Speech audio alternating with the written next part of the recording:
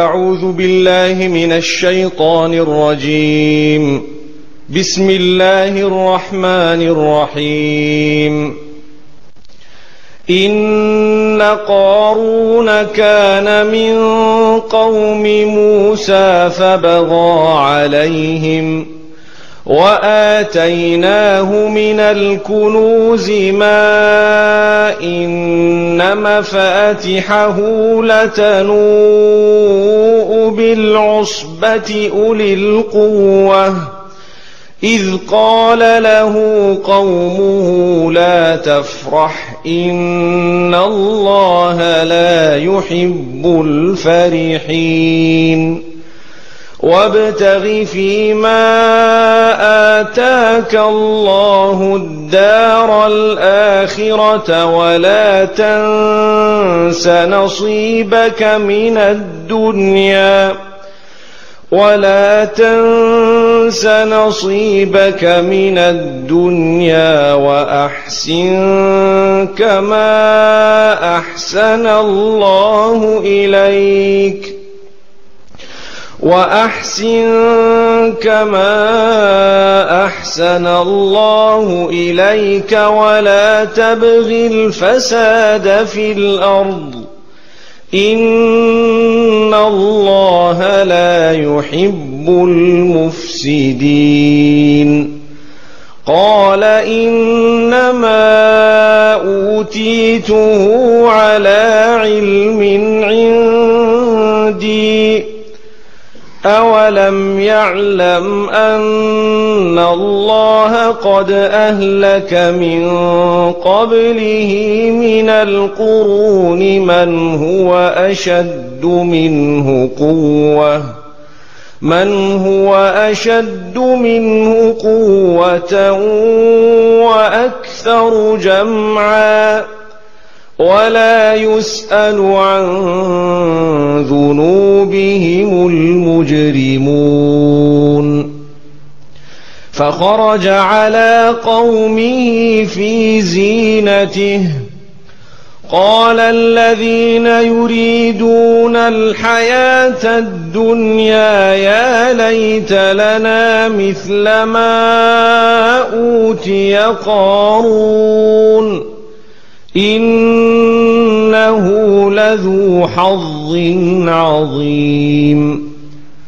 وقال الذين أوتوا العلم ويلكم ثواب الله خير لمن آمن وعمل صالحا ولا يلقاها إلا الصابرون. فخسفنا به وبداره الأرض. فما كان له من فئة ينصرونه من دون الله. وما كان من المنتصرين. وأصبح الذين تمنوا مكانه بالأمس يقولون ويك أن الله يبسط الرزق.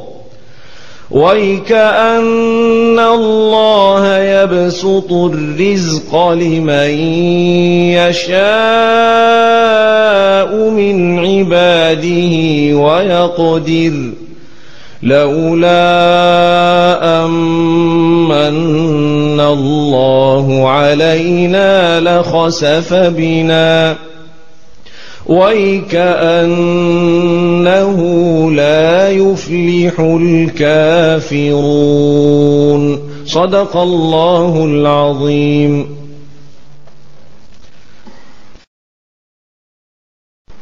Bismillahir Rahmanir Rahim in the name of Allah, most beneficent, most merciful. Alhamdulillahi Rabbil Alameen, all praises are due only and solely to Allah subhanahu wa ta'ala, my creator, your creator, nourisher, cherisher, sustainer, provider, and the one whom entire creation will return to. واصلي واسلم على نبينا محمد الامين وعلى اله وصحبه الطيبين الطاهرين ومن تبعهم باحسان إلى يوم الدين complete blessings and salutations upon the most beloved and the highest of all creatures Muhammad sallallahu alayhi wasallam blessings and salutations upon all the sahaba radiallahu anhum and upon the tabi'een upon the four illustrious imams upon all of us upon the ulama who have passed within this ummah and upon those in our midst. And may the blessings of Allah be upon our offspring who will come until the day of Qiyamah. May Allah subhanahu wa ta'ala make our offspring from amongst those who will fight against Dajjal in the army of Isa alayhi salatu wasalam. Ameen. Honored ulama, beloved brothers and sisters, dearest listeners, if we are to look at the waves of the ocean, we will hear a sound. What is that sound? Many will say it is water. And the little droplets are bashing onto one another, creating a sound. Is that sound not so soothing? Water is a creature of Allah subhanahu wa ta'ala. That water engages in an act of worship or several acts of worship.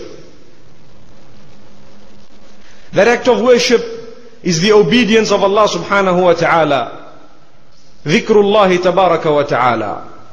Allah subhanahu wa ta'ala says in the Quran, وَإِن مِّن شَيْءٍ إِلَّا يُسَبِّحُ بِحَمْدِهِ وَلَكِن لَّا تَفْقَهُونَ تَسْبِيحَهُمْ Indeed, everything engages in the dhikr of Allah subhanahu wa ta'ala. All the creatures of Allah subhanahu wa ta'ala engage in His dhikr.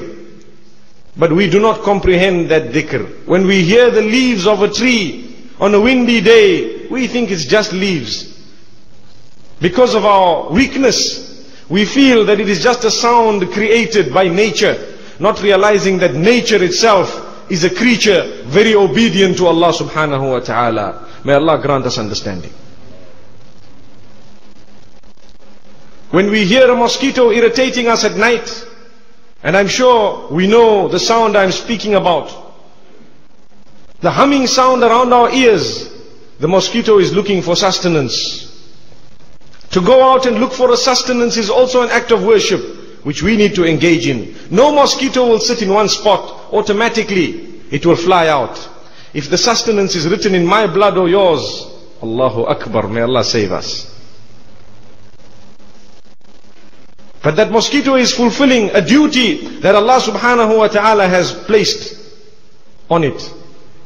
And at the same time, the sound that is created may well be the dhikr of Allah subhanahu wa ta'ala, but we do not comprehend. So what is the meaning of dhikr? Some may say to sit with a tasbih and to say Allah, Allah, Allah, Allah, Allah, Allah, Allah. Subhanallah, walhamdulillah. ولا إله إلا الله والله أكبر سبحان الله The sound is so beautiful that it rings in our ears and it makes our hairs stand. At times we don't even understand it. That is just a portion of dhikr. To remember Allah by mentioning the tasbihat that we are taught by Rasulullah sallallahu alayhi wasallam in the Arabic language. That is a part of the dhikr. But dhikr has a deeper meaning. If we take a look at the hadith of Jumu'ah, Rasulullah sallallahu alayhi wasallam says, every Friday there is a competition. The malaika stand with huge sijillat, registers at the door of every masjid. And they record who came in first for Jum'ah Salah. Who came in second, who came in third, and what order were you and I? The malaika are standing. How many of us have even felt that there is a competition going on? Today, mashallah, coming into Strand, there is a flea market. People rush there when they hear of the bargains, don't they? Because they know I better buy it before others get hold of it before me. But when it comes to the house of Allah subhanahu wa ta'ala, don't you think it's more important than a flea market? Astaghfirullah. No comparison. Then we are delayed, we are late. Almost every salah, if you were to turn around, and we shouldn't do that because we should be worried about ourselves. We will find the same faces are late. Why? Yes, there are rules and regulations regarding coming late to the masjid and how to catch up the raka'at that you may have missed. But that is not to make it easy for you to come late every time. Some people know, oh, it is Fajr Salah. This Imam will read very long because it is a Friday. I'll take my time. Has this person remembered Allah? No. This person is remembering something else. So I was mentioning the hadith of the register on the day of Friday. It is reported, فَإِذَا خَرَجَ الْإِمَامِ طَوَوْا صُحُفَهُمْ يَسْتَمِعُونَ الذِّكْرِ when the Imam comes out and stands on the mimbar, the angels close the registers and also come to listen to the dhikr. What is being referred to as dhikr here? The khutbah, the warning, the wa'az, the lecture, the speech, the reminder. That is also a deeper meaning of the word dhikr. To be mindful of Allah is dhikrullah. والذين إذا فعلوا فاحشة أو ظلموا أن أنفسهم ذكروا الله فاستغفروا لذنوبهم those who may commit immorality out of sin, those who have made a mistake and they went into zina and other immoral acts, or those who have oppressed themselves in any way, suddenly they remember Allah. They become mindful of His presence. They become mindful of who they are and the fact that they are going to return to Allah subhanahu wa ta'ala. And then they say, Ya Allah, forgive us. What led them to seeking forgiveness was the remembrance of Allah. The fact that they became mindful of Allah, from this we learn that those who are mindful of Allah, it will lead them to engage in istighfar. May Allah grant us forgiveness. And may Allah subhanahu wa ta'ala make us from amongst those who are mindful of Him at all times. So that really and truly on the day of Qiyamah, Rasulullah sallallahu alayhi wa can call us out. And He can intercede on our behalf. May, may Allah subhanahu wa ta'ala make us from amongst those whom Rasulullah sallallahu alayhi wa sallam will intercede for. So dhikr in the hadith of the register of Jumu'ah is used to refer to the khutbah of the Jumu'ah. And the term dhikr is also used to be mindful of Allah subhanahu wa ta'ala. Then Allah subhanahu wa ta'ala says, فَاذْكُرُونِي أَذْكُرْكُمْ Remember me and I shall remember you. Which means, if you strive and struggle to please me because you know who I am and you are mindful of me, then definitely you will find me assisting you in everything that you are doing. May Allah help us and guide us to do the right things. What happens today? We call out to Allah, we make a dua. Ya Allah, give me good health. Ya Allah, give me a long life. Ya Allah, give me those who will be the coolness of my eyes from amongst my children. Ya Allah, solve this problem for me. Solve that problem for me. But when Allah tells you, my worshipper, read your salah, what do you do? When Allah says, my worshipper, speak the truth. My worshipper, go home and smile at your family members. It's an act of charity. تَبَسُّمُكَ فِي وَجْهِ أَخِيكَ صَدَقَةً We've heard that so many times. To smile at the face of fellow Muslims is a sadaqah. What about to smile at those who are closest to you? It's even a bigger sadaqah. So, one whose character and conduct is not up to date, there is something wrong with his dhikr. Which means, he is not mindful of Allah subhanahu wa ta'ala. Yes, we need to engage in our tasbihat. They are of utmost importance. But these tasbihat must draw us closer to Allah subhanahu wa ta'ala. Sometimes shaitan comes, he knows that we've been sitting and engaged in the tasbih. لا إله إلا الله لا إله إلا الله لا إله إلا الله لا إله إلا الله لا إله إلا الله That melodious sound when shaitan hears it shaitan is very angry and upset so as soon as you walk out of the masjid he, he wants to spoil what you've achieved or as soon as you get up from your dhikr I'm speaking here of the tasbihat. He wants to spoil what you achieve. So you become arrogant and proud and you think, "Ah, I'm reading dhikr. These others are not doing it. They are astray. The minute you think others are astray, you must know you are worse than them. Because of that evil thought, the reward of your dhikr has been gone, has been taken away and given to someone else as a gift. May Allah subhanahu wa ta'ala grant that to us. So we must realize we need to strike a balance. And when we do deeds, what is a sign of acceptance? You become humble. May Allah make us humble. You do not think for a split moment that spiritually I am on a higher level than the others, they are low. No! If that is the case, that means we do not even know and we have not even recognized our own creator. Dhikrullah tabaraka wa ta'ala has such a broad meaning. It is reported in one hadith where Rasulullah sallallahu alayhi wasallam says, anyone who sits and engages in the dhikr of Allah subhanahu wa ta'ala, the malaika make dua for them. They surround them, the mercy of Allah descends upon them, and Allah begins to speak about them in the heavens to those who are better. Today we are seated here, this is the dhikr of Allah subhanahu wa ta'ala, which means it is a reminder. This is what is referred to in the hadith. A reminder for myself and yourselves to get closer to Allah. Do you think Allah subhanahu wa ta'ala is upset that we are seated here today? Nay! If we have the right intentions, inshallah, He is very pleased with us. Right now, there are angels who are protecting us. They will grant us from the mercy of Allah subhanahu wa ta'ala. We will be able to feel the mercy descending. We will feel content. We will walk out of here with a smile if we have the right intention. And Allah subhanahu wa ta'ala is mentioning us to the malaika. One hadith says that Allah actually boasts to the malaika to say, look at my worshippers. Why boast? Because shaitan promised that I am going to lead these people astray. ثم لآتينهم من بين أيديهم ومن خلفهم وعن أيمانهم وعن شمائلهم ولا تجد أكثرهم شاكرين Shaitan says, I promise you, O Allah, I'm going to come to them to lead them astray from the front, from the back, from the side, from the other side, from all angles, and I will show you that most of them are ungrateful for what you've given them. So when we are seated here, Allah says, you see, I have, Shaitan is wrong. Allahu Akbar. May Allah subhanahu wa ta'ala speak about us.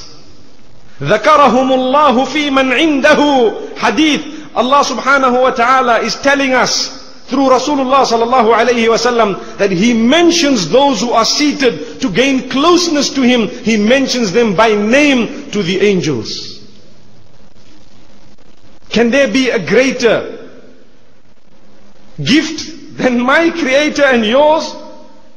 Using your name and saying my worshipper so and so right now is earning my pleasure. May Allah subhanahu wa ta'ala grant us understanding. That is the power of dhikr. The remembrance.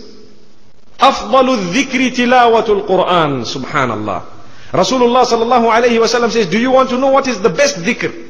The best form of creating a consciousness within one's mind and heart of Allah subhanahu wa ta'ala is to read the Quran to recite the Quran, to try and understand the Quran, to put this Quran into practice, to put the Sunnah of Muhammad sallallahu alayhi wasallam thereafter into practice. The Quran will lead you to the Sunnah of Rasulullah sallallahu alayhi wasallam because in it we read وما آتاكم الرسول فخذوه وما نهاكم عنه فانتهوا واتقوا الله Allah says in the Quran, whatever the Messenger sallallahu alayhi wasallam has given you, make sure you hold fast and make sure you follow it and make sure you take it.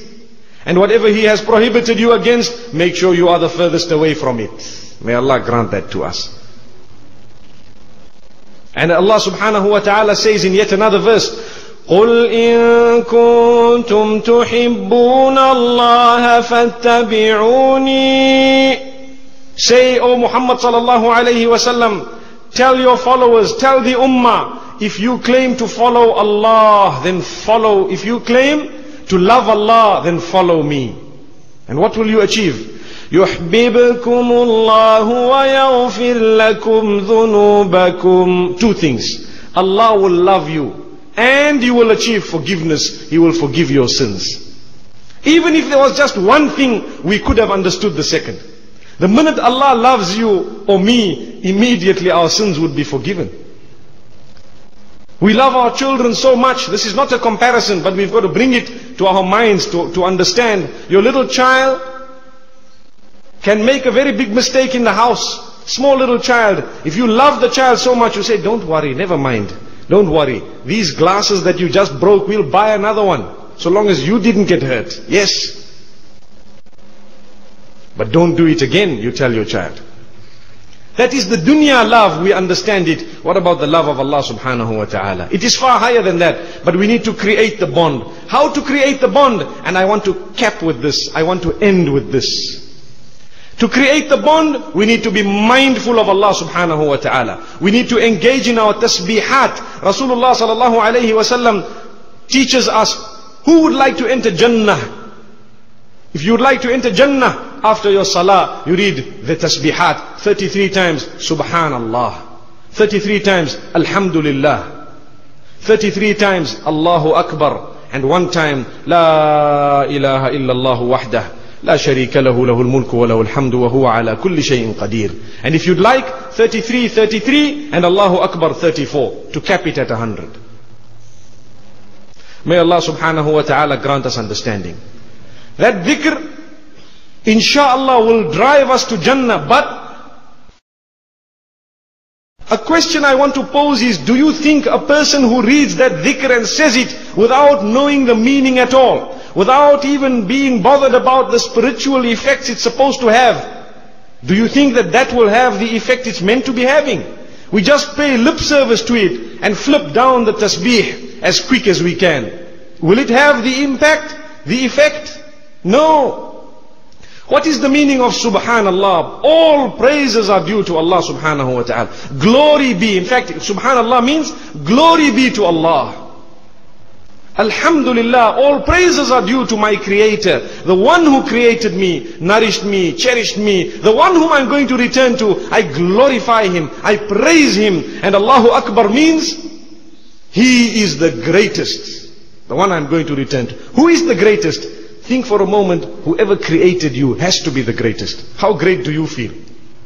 We feel big, human beings, we feel nice. What about the one who created me and you? Surely he should be some supreme being that there can be no one greater. Today we look at the Mercedes, we look at the microwave ovens, the little chips, small little chip that they put in your wrist and you pass through, they know your bank balance and everything. These things have been created. People say that man must have been a genius. You're talking of a man. What about the creator of man? Allahu Akbar Kabira. That is why when we say Allahu Akbar, we are saying whoever created me, nourishes me, cherishes me, provides for me, cures me when I'm sick, the one whom I'm going to return to, whoever he is, he is the greatest and he is the worshipped one. Translating in the Arabic language as Allah, the worshipped one. So now when we say Subhanallah, Alhamdulillah, La ilaha illallah, Allahu Akbar, now we should think and it should have that impact. And immediately after that, we should engage in istighfar. Because Allah mentions it in the Quran, ذَكَرُوا اللَّهَ فَاسْتَغْفَرُوا لِذُنُوبِهِمْ you remember Allah, you become mindful of Allah, you remember the fact that He is watching, you remember the fact that you are answerable to Him in totality, and that leads you to say, Oh Allah, forgive me, I have committed so many sins. Imagine a person on his deathbed. We are taught by Rasulullah sallallahu alayhi wasallam, if you are seated next to a person in sakarat, remind them only of the good they have done, not the bad. What's the point of reminding the person, hey, you know, you committed zina three times and the world got to know about it. Astaghfirullah. Can he do anything? He can't. He'll cry because he's helpless. The only, you must remind him, brother, you used to read salah and Allah loves you for that. You've got to make statements to this person who's in sakarat to try and make his journey into the akhirah as easy as possible. But that is one side. What about when I am in sakarat? I can prepare for it from now. Ya Allah, forgive me. Imagine a person in sakarat if I am in sakarat or you. And imagine if these sins that we've committed in our lives come back to our minds, we are going to say it was not worth it at all. It was not worth it. Why? I earned pleasure for five minutes, ten minutes. I lived a big life for a year, two years. Now I'm doomed for, for forever. May Allah not do that to us. So because just the thought is so depressing, Allah says, do not despair. Do not be depressed.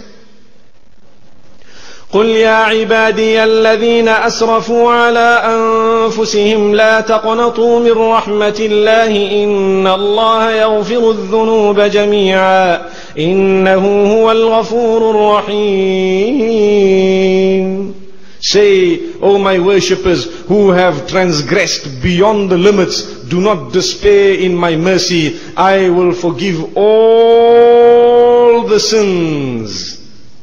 We are sitting here, we say, Astaghfirullah. Ya Allah, forgive me. I have committed so many sins. I promise you I'm going to head in the right direction from this day on. I will leave everything so that the day you decide to take me away from this dunya, Ya Allah, I will be from amongst those who will be happy, who will be able to say, I have strived to create the link between myself and yourself, O Creator.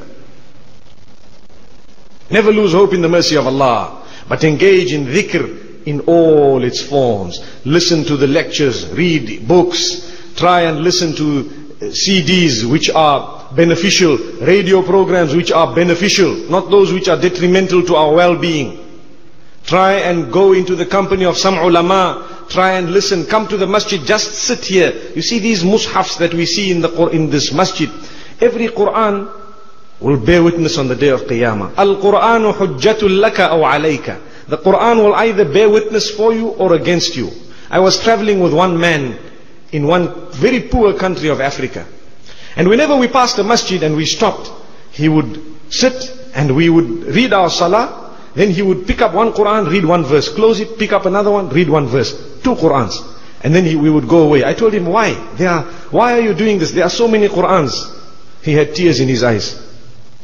I told him, please, help me. I haven't understood this. He says, this Quran is in a corner in the rural most place of Africa. On the day of Qiyamah, at least I wanted to bear witness to say, this man has read one verse. Allahu Akbar.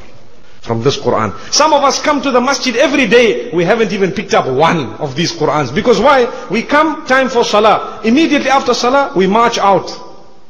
Yes, it's something good that we've come, we are coming for Salah. But don't you think these Qurans have a right over us that at least we touch them. They are here. It says waqaf. We see it written. We've never touched it. Just to touch it. To say, I touched this Quran. And obviously, it would not be Islamic to read one verse here, then pick up another one, another verse there, another verse there, because we are not trying to show anyone here. But at least if you live in the locality, your own locality, the masjid in your locality, these Qurans have a greater right. Don't you think so? May Allah subhanahu wa ta'ala grant us the acceptance.